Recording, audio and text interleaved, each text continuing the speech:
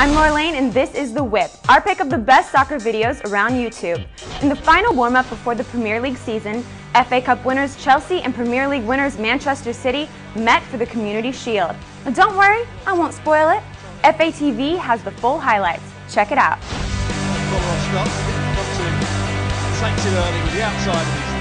the.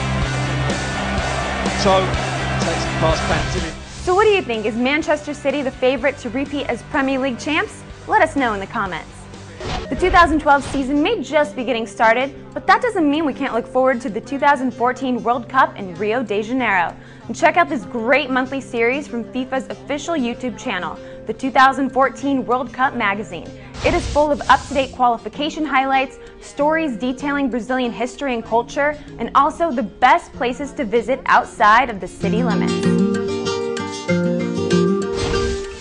One trait that is synonymous with Brazilian footballers is technical ability.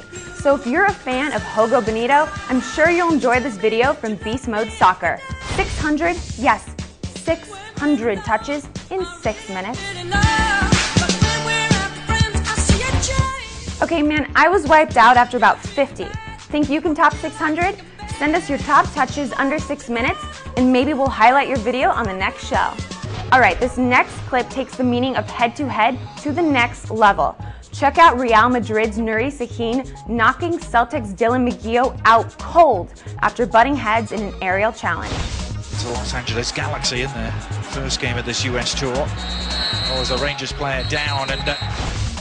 Wait, did he say Rangers player? Come on, Adrian. Okay, finally, do you ever wonder how EA Sports is so dead on with player likeness in their FIFA games? Well, here is your answer.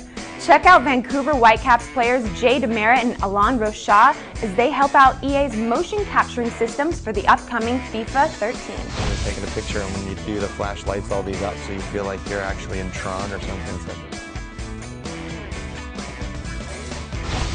Hey EA, you got room for my goal celebration?